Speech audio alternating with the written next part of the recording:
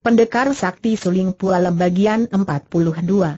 Siang Koan Goat Nio ditangkap. Sementara itu di markas Seng Hwe E Kau, tampak Leng Bin Hoatsu, Pek Bin Kui, Pat Pailoko Ai dan Tok Luwong duduk dengan wajah serius. Berselang beberapa saat kemudian, terdengarlah suara tawa terbahak-bahak, muncullah Seng Hwe E Sin Kun dengan wajah berseri-seri. Hahaha. Hahaha selamat.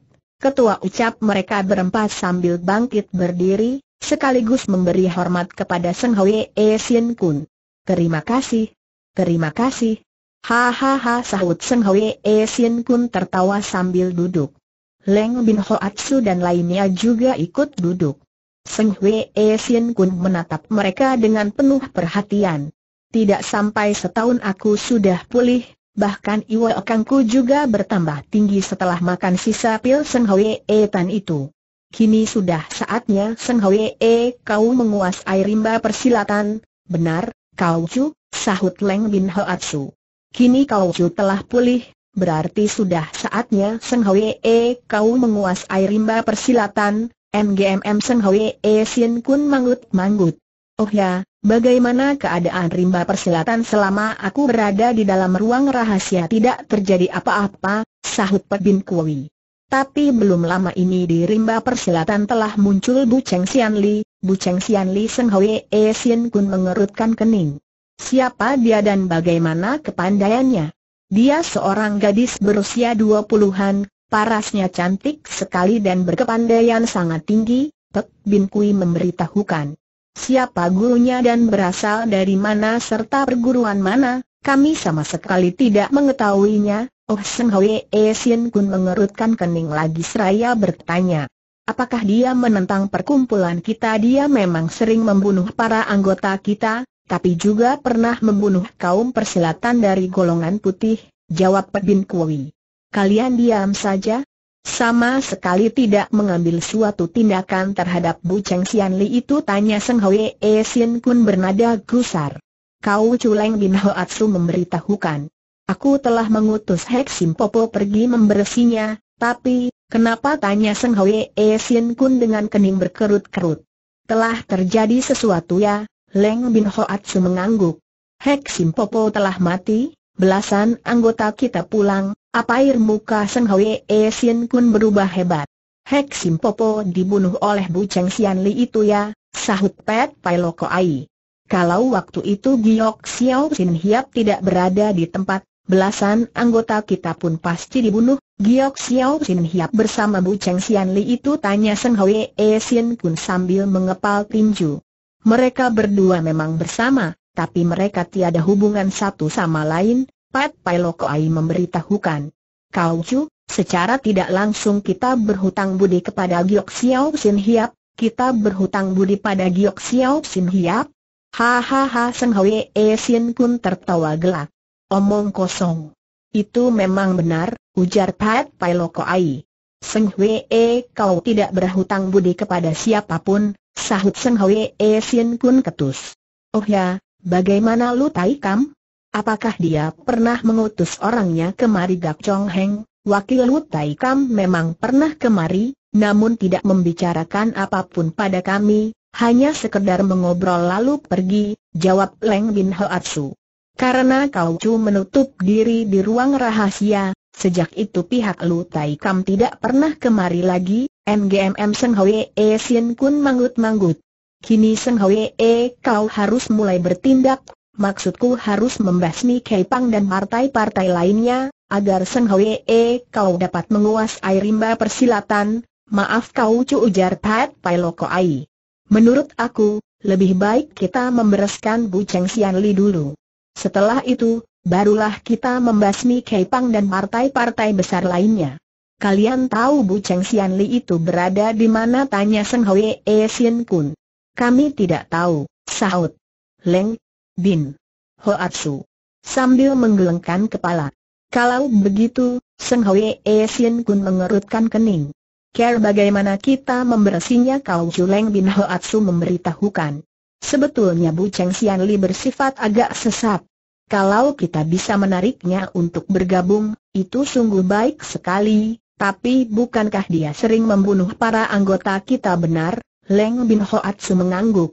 Namun itu dikarenakan para anggota kita yang mengganggunya duluan, maka dia membunuh mereka. Mu Cheng Xian Li pun pernah membunuh para pesilat dari golongan putih. Apabila dia mau bergabung dengan kita, bukankah kita dapat memanfaatkannya untuk membunuh para pesilat golongan putih ide yang cemerlang ujar Seng Hui E Sin Kun sambil tertawa gelak. Kalau begitu, kalian harus berusaha mengundangnya kemari. Itu adalah tugas kalian, laksanakan dengan baik ya, sahut mereka serentak. Kemudian Pak Bin Kui memberitahukan. Kau Chu, kami telah menerima informasi, bahwa Siang Koan Goat Niro sedang menuju markas pusat Keipang, oh wajah Seng Hui E Sin Kun tampak berseri. Kalau begitu, cepatlah kalian pergi tangkap dia Kau Chu, tanya Pet Pailoko Ai. Kenapa gadis itu harus ditangkap? Hahaha Seng Hui E Sin Kun tertawa. Kalau dia aku tangkap, tentunya dia tidak akan tiba di markas pusat Kepang. Nah, bukankah itu akan mencemaskan pihak Kepang maksud kau Chu menyanderanya tanya Pet Pailoko Ai. Kira-kira begitulah, Seng Hui E Sin Kun manggut-manggut. Setelah itu, barulah kita kirim berita ke markas pusat Kepang, agar mereka datang kemari. Di saat itulah kita membantai mereka, betul, Pek Bin Kui mengangguk. Kita harus bertindak begitu, tapi, Pat Pailoko Ai menggeleng-gelengkan kepala. Itu pasti akan mengundang kemarahan pihak Pulau Hang Huang Tu, yang tentunya akan membahayakan Seng Hui E Kau, hahaha Seng Hui E Sin Kun tertawa terbahak-bahak. Aku justru ingin memancing mereka kemari, kalian harus tahu. Kepandaianku kini boleh dikatakan sudah tiada tanding di kolong langit. Nah, apa yang harus ditakuti Pet Pailoko Ai diam, sedangkan yang lain justru tertawa gembira. Berselang sesaat Seng Hui E Sin Kun berkata, Kalian berempat cepat pergi menangkap Siang Koan Goat Nio, tapi jangan melukainya. Pergunakan bom asap agar dia pingsan, barulah kalian tangkap dia, kau cu, sahut mereka berempat, lalu berangkat pergi untuk menangkap Siang Koan Goat Nio. Siang Koan Goat Nio terus melakukan perjalanan menuju markas pusat Kepang. Ketika sampai di tempat yang sepi, mendadak melayang turun beberapa orang di hadapannya. Mereka ternyata Leng Bin Hoatsu, Pek Bin Kui, Pat Pailoko Ai dan Tok Chiong. Hahaha Leng Bin Hoatsu tertawa seraya berkata, Nona, kita bertemu lagi kalian mau apa tanya Siang Koan Goat Nilo dingin sambil mengeluarkan sulingnya. Nona, sahut Pet Pailoko Ai memberitahukan. Kami kemari bermaksud mengundangmu ke markas kami, itu adalah perintah kau cu kami bagaimana kalau aku menolak kami terpaksa harus menggunakan kekerasan, ujar Leng Bin Hoatsu. Oleh karena itu, kami harap Nona menurut HMM Dingus yang Koan Goat Nilo dingin. Aku tidak akan menurut, pokoknya aku akan melawan mati-matian baik Leng Bin Hoatsu tertawa dan berseru. Mari kita serang Nona Siang Koan ini. Seketika mereka berempat langsung menyerang Siang Koan Goat Nilo dengan tangan kosong. Gadis itu bergerak cepat berkelit, kemudian balas menyerang dengan sulingnya, menggunakan ilmu Cap Wei E Kim Xiao Chiat Hoat, 18 jurus maut suling emas. Akan tetapi, Belasan jurus kemudian Siang Koan Goat Nilo tampak mulai berada di bawah angin. Di saat itulah ia menggunakan Cip Lo Kiam Hoat, ilmu pedang pusing tujuh keliling, ciptaan Tio Chie Hyong. Begitu Siang Koan Goat Nilo menggunakan ilmu tersebut, Leng Bin Hoatsu dan lainnya segera meloncat ke belakang. Pek Bin Kui merogoh ke dalam bajunya, mengeluarkan suatu benda berbentuk bulat, lalu dilemparkannya ke arah gadis itu. Daar. Benda itu meledak dan mengeluarkan asap. Haa Siang Koan Goat Nilo terperanjat. Ia tahu asap itu mengandung racun, tapi sudah tidak sempat menutup pernafasannya, akhirnya ia terkulai pingsan. Hahaha Pebin Kui tertawa. Kita berhasil, kau cu pasti gembira sekali mari kita bawa dia pulang sahut Leng Bin Hoatsu. Jangan membuang waktu di sini baik, Pat Pailoko Ai mengangguk, kemudian membopong Siang Koan Goat Nio. Hahaha Leng Bin Hoatsu tertawa gelak. Mari kita kembali ke markas. Betapa gembiranya Seng Hui E Sin Kun karena Siang Koan Goat Nio sudah tertangkap. Pat Pailoko Ai menaruh gadis itu ke bawah. Ternyata gadis itu masih dalam keadaan pingsan. Hahaha Seng Hui E Sin Kun terus tertawa terbahak-bahak. Kini gadis itu berada di tangan kita, pihak Kei Pang pasti cemas sekali kau cu, tanya Pat Pailoko Ai. Kapan kau Cu akan mengutus orang ke markas Kei Pang? Tidak perlu begitu cepat, sahut Seng Hui E Sien Kun. Aku ingin membuat pihak Kei Pang dan pihak Pulau Hang Huang Chu dicekam merasa gelisah terutama kedua orang tua gadis itu. Hahaha kau Cu, ujar Pebin Kui mengusulkan, bagaimana kita musnahkan kepandaiannya itu, Seng Hui E Sien Kun tampak ragu, tidak perlu, selapet Pailok Ai cepat. Kalau kita memusnahkan kepandaian gadis itu, sama juga mempermalukan Seng Hui E kau, bukan benar, Seng Hui E kau cuma manggut-manggut. Kalau begitu, kurung saja dia dan biarkan dia sadar sendiri, ya Pet Pai Ai mengangguk, sekaligus membopong Siang Koan Goat Nio lalu dibawa ke dalam. Berselang sesaat, Pet Pai Ai sudah kembali ke ruang depan. Bagaimana tanya Seng Hui E Sin Kundis itu sudah dikurung sudah, kau cupet Pai Loko Ai mengangguk. Baiklah Seng Hui E Sin Kun manggut-manggut. Sekarang kalian boleh beristirahat. Terima kasih, kau cu ucap mereka sentak, kemudian pergi ke kamar masing-masing begitu memasuki kamar, Pat Pai Loko Ai berjalan mondar-mandir dengan kening berkerut-kerut, kelihatannya ia sedang memikirkan sesuatu, Berselang beberapa saat kemudian ia manggut-manggut sepertinya sudah mengambil suatu keputusan. Malam harinya, Pat Pailoko Ai berjalan berendap-endap menuju halaman belakang, lalu melesat ke atas sebuah pohon. Sungguh di luar dugaan, ternyata ada seekor burung merpati di atas pohon itu. Pat Pailoko Ai mengikat sesuatu di kaki burung merpati itu, kemudian menepuk kepala burung merpati tersebut seraya berkata cepatlah engkau terbang ke markas Ngo Tokau, tapi harus berhati-hati burung merpati itu manggut-manggut, lalu terbang meluncur ke angkasa. Pat Pailoko Ai menghela nafas lega, dan segera kembali ke kamarnya perlahan-lahan Siang Koan Goat Nio membuka matanya, ternyata gadis itu telah sadar dan tampak tercengang karena mendapatkan dirinya berada di dalam kamar batu. Eh! Aku berada di mana gumamnya sambil menengok ke sana kemari. Apakah aku sudah ditangkap Siang Koan Goat Nio mencoba menghimpun luakangnya, namun tidak berhasil karena sekujur badannya masih lemas. Haa gadis itu terkejut bukan main. Aku telah kehilangan hawa murni mendadak pintu kamar batu itu terbuka, Pat Pailoko Ai berjalan ke dalam. Begitu melihat Pat Pailoko Ai itu, Siang Koan Goat Nio menudingnya. Cepat lepaskan aku. Cepat tenang, Nona sahut Pet Pailoko Ai. Kau cu kami ingin menemuimu, mari ikut aku ke ruang depan HMM Dingus yang Koan Goat Nio dingin. Aku tidak sudi menemui Seng Hui E Sien Kun yang licik itu Nona, Pat Pailoko Ai menatapnya dalam-dalam. Mari ikut aku agar tidak terjadi hal-hal yang tak diinginkan Siang Koan Goat Nio mengerutkan kening, lama sekali barulah mengangguk, lalu bersama Pet Pailoko Ai menuju ruang depan. Hahaha Seng Hui E Sien Kun tertawa gelak.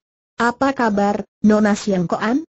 Tentunya engkau baik-baik saja, bukan HMM Dingus Siang Koan Goat Nio dingin.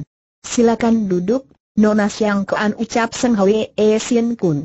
Siang Koan Goat Nio duduk, Seng Hui E Sien Kun menatapnya tajam, kemudian tertawa seraya berkata, Hahaha, Tahukah engkau kenapa kami menangkapmu tahu? Sahut Siang Koan Goat Nio. Pertanda kalian semua pengecut hahaha Seng Hui E pun tertawa gelak. Kalau kami pengecut, engkau pasti sudah jadi mayat Oh Siang Koan Goat Nio tertawa dingin. Kalau begitu, cepatlah bunuh aku bunuh engkau Seng Hui E Sin pun tertawa lagi. Kami tidak akan membunuhmu, hanya mengurungmu di sini saja, Seng Hui E Sin Kun, lebih baik engkau segera melepaskan aku bentak Siang Koan Goat Miu. Kalau tidak, hihihi Seng Hui E Sin Kun tertawa terkekeh-kekeh. Engkau harus tahu apa sebabnya aku mengurungmu di sini. Itu agar pihak Kei Pang dan pihak Pulau Hang Huang kemari, karena aku ingin membunuh mereka semua Osyang Koan Goat Nilo tidak terkejut, sebaliknya malah tertawa dingin dan berkata, Seng Hwee Sin Kun, jangan menyombongkan diri. Mungkin engkau yang akan mati di tangan kakak bun yang maksudmu Giok Xiao Sin Hiap itu ya, hahaha Seng Hwee Sin Kun tertawa gelak.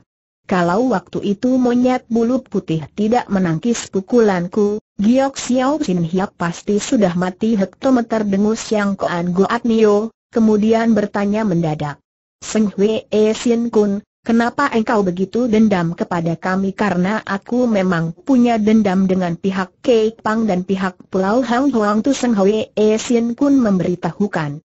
Terutama terhadap Kao Hun Bijan itu, karena gara-gara dia kakak seperguruanku mati di tangan Kuan Gwe Asyang Koai dan Ngo Kui Oh Siang Koan Goat Nio mengerutkan kening.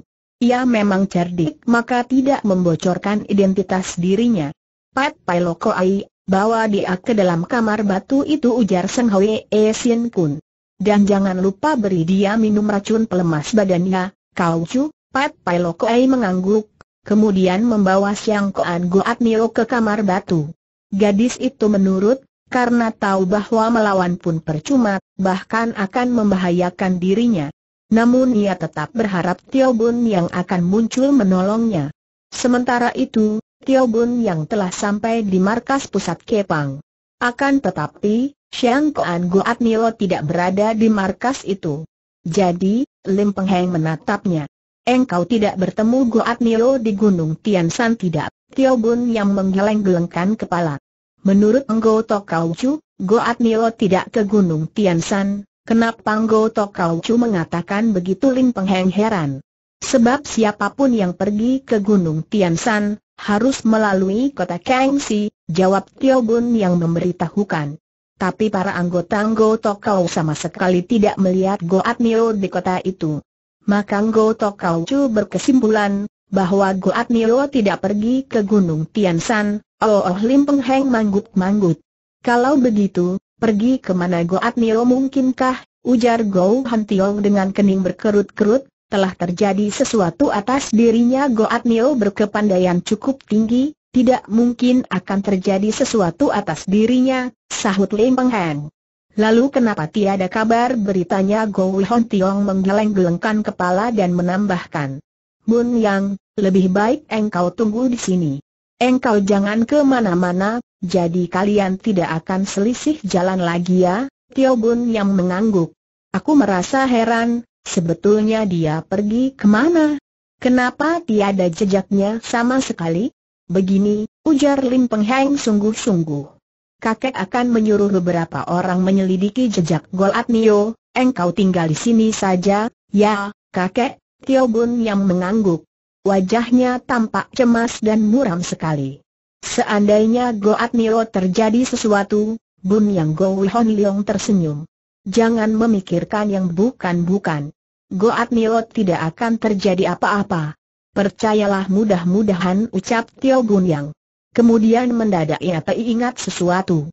Oh ya, apakah kakek pernah mendengar tentang Bu Cheng Sian Li Bu Cheng Sian Li Lim Peng Heng menggeleng-gelengkan kepala. Kakek tidak pernah mendengar tentang dia. Mungkinkah dia adalah pendekar wanita yang baru muncul di rimba persilatan? Engkau bertemu dia aku memang telah bertemu Bu Cheng Sian Li Tu, Tio Bun yang memberitahukan sambil menghela nafas. Dia cantik jelita berusia dua puluhan, namun berhati kejam. Dia membunuh orang seperti membunuh semut, Oh Lim Peng Heng. Mengerutkan. Kening. Dia membunuh siapa? Membunuh Hek Simpopo, Tio Bun yang menutur tentang kejadian itu dan menambahkan. Bahkan dia pun ingin membunuh para anggota Seng Hui E Kau, tapi aku mencegahnya, kenapa dia membunuh pihak Seng Hui E Kau Go Hon Tiong heran. Apakah dia punya dendam dengan pihak Seng Hui E Kau? Sebetulnya dia tidak punya dendam apa pun dengan pihak Seng Hui E Kau, hanya dikarenakan para anggota Seng Hui E Kau menggodanya, maka dia membunuh mereka. Engkau bentrok dengan Bu Cheng Sian Li itu tanya Lim Peng Heng sambil menatapnya. Tidak Tio Bun yang menghela nafas. Ketika aku mencegahnya membunuh para anggota Seng Hui E Kau, dia tampak gusar tapi kemudian malah menuruti perkataanku, engkau tahu namanya dan bagaimana kepandaiannya tanya Go Hon Tiong. Dia bernama Tu Sia Ochui kepandaiannya tinggi sekali, jawab Tio Bun yang memberitahukan. Hanya belasan jurus dia telah berhasil membunuh Hek Simpopo, Oh Lim Peng Hang terperanjat. Kalau begitu kepandaiannya memang tinggi sekali. Bun Yang, tanya Go Hon Tiong. Enak kau tahu siapa gurunya tidak tahu. Tio Bun yang menggeleng-gelengkan kepala. Aku justru bingung memikirkannya, kenapa bingung Lim Peng Heng menatapnya tajam. Kakek jangan salah paham ujar Tio Bun yang dengan wajah agak kemerah-merahan. Yang kupikirkan adalah identitasnya, Sebab aku pernah bertemu Tian Gwe Asin Hiap di dalam goa, di Gunung Hang San, Tio Bun yang menutur tentang itu. Lim Peng Heng dan Go Hon Tiong mendengar dengan penuh perhatian. Tian Gwe Asin Hiap, gumam Lim Peng Liang seusai Tio Bun yang menutur, kemudian bertanya kepada Go Hon Tiong. Engkau pernah mendengar tentang Tian Gwe Asin Hiap dan Tu Sia Chui tidak pernah Go Hon Tiong menggelengkan kepala. Kalau begitu, ujar Lim Peng Heng. Mu Cheng Sian Li Tu Xiao Cui itu bukan Tu Xiao Cui, murid Tian Gwe Asin Hiap itu. Mungkin kebetulan nama mereka sama, sebab Tu Xiao Cui murid Tian Gwe Asin Hiap itu sudah berusia 80-an, sedangkan Bu Cheng Sian Li Tu Xiao Cui baru berusia 20-an. Kakek, aku pun berpikir begitu, Tio Bun yang memberitahukan. Tapi Bu Cheng Sian Li justru mengaku, bahwa dirinya adalah Tu Xiao Chui murid Tian Gwe Asin Hiap itu, menurut aku, ujar Lim Peng Heng setelah berpikir sejenak. Gadis itu pasti bercanda denganmu, aku pun beranggapan begitu. Tidak mungkin Bu Cheng Sian Li itu adalah Tu Xiao Chui murid Tian Gwe Asin Hiap, Tio Bun yang menggeleng-gelengkan kepala. Tapi dia justru mengatakan, kelak aku akan mengetahuinya, Oh Lim Peng Heng mengerutkan kening dan berpesan. Bun Yang, engkau harus berhati-hati terhadapnya. Kakek yakin dia berasal dari golongan sesat, benar, kakek, Tio Bun yang mengangguk. Gadis itu memang memiliki ilmu sesat. Dia, dia menggunakan ilmu sesat itu untuk merangsang diriku, bagaimana engkau tanya Lim Peng tegang. Apakah engkau terangsang olehnya tidak? Tio Bun yang tersenyum. Kakek sudah lupa ya? Aku memiliki ilmu penakluk iblis Oh, oh Lim Peng manggut-manggut sambil menarik nafas lega. Kakek melupakan itu, kakek, ujar Tio Bun yang sungguh-sungguh. Kalau aku tidak memiliki ilmu penakluk iblis, mungkin akan terangsang, Bun yang, tanya Go Hon Tiong mendadak. Bagaimana cara gadis itu merangsangmu caranya? Tio Ban Yar memberitahukan dengan wajah agak kemerah-merahan, kemudian menambahkan, Aku mengeluarkan sulingku sekaligus meniupnya, akhirnya dia tersentak sadar, bukan main Go Hon Tiong menggeleng-gelengkan kepala lelaki mana yang tidak akan terangsang tapi Lim Peng Heng mengerutkan kening. Menurut aku, dia cuma ingin mencoba dirimu, kenapa kakek mengatakan begitu Tio Ban yang heran. Coba engkau pikir, para anggota Seng E kau menggodanya, dia langsung membunuh mereka tanpa ampun. Berarti dia bukan gadis yang bukan-bukan. Namun terhadapmu, dia malah, Lim Peng Hang menjelaskan.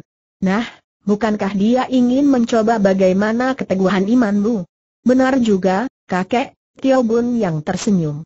Aku sama sekali tidak berpikir sampai ke situ, tapi dia bilang suka kepadaku. Itu sungguh memusingkan pikiranku tidak apa-apa, sahut Lim Peng Heng sungguh-sungguh. Mungkin dia telah menganggapmu sebagai adik, maka berani mencetuskan ucapan itu, kakek, aku memang berharap begitu. Kalau tidak, repotlah aku, ujar Tio Bun yang sambil menggeleng-gelengkan kepala. Karena Goat Nio akan menaruh salah paham padaku, jangan khawatir Lim Peng Heng tersenyum kakek akan menjelaskan kepada Goat Nio, terima kasih, kakek. Terima kasih ucap Tio Bun Yang. Tapi entah kapan Goat Nio akan muncul di sini. Aku, aku mengkhawatirkannya, tenang saja ujar Lim Peng Heng menghiburnya. Percayalah buat Nio tidak akan terjadi apa-apa, ya ah Tio Bun yang menghela nafas panjang. Mudah-mudahan dia tidak akan terjadi apa-apa.